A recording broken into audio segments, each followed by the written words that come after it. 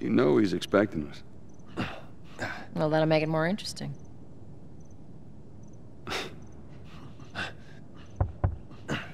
Good to go.